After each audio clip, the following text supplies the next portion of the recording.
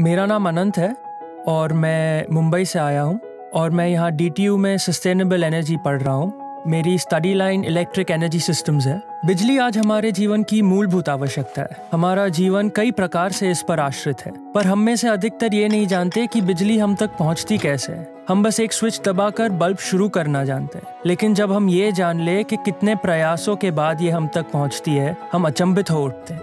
बिजली की इंसानों ने खोज नहीं की। हमने बस इसे सही तरीके से इस्तेमाल करना सीखा है। डी में पढ़ाई काफ़ी अलग है इंडिया से। यहाँ पे चीज़ों को पूरी तरीके से और अच्छी तरीके से समझने पे ज़्यादा ज़ोर दिया जाता है। यहाँ पे जितनी आज़ादी स्टूडेंट्स को दी जाती है, वो काफ़ी अच्छी है। जब मैं पढ़ाई नहीं करता हूँ, तब मैं कैंपस में बास्केटबॉल खेलता हूँ या दोस्तों के साथ गप्पे लड़ाता हूँ। ये अच्छा ब्रेक हो जाता है और इससे काफ़ी आराम भी मिलता है। कॉलेज से घर लौटने पे मैं अपने माता पिता से बात करता हूँ या दोस्तों से बात करता हूँ। सोने से पहले मुझे अपने किंडल पढ़ने में बड़ा मज़ा आता है। उससे पहले कि मैं अपनी लाइट बंद कर दूँ।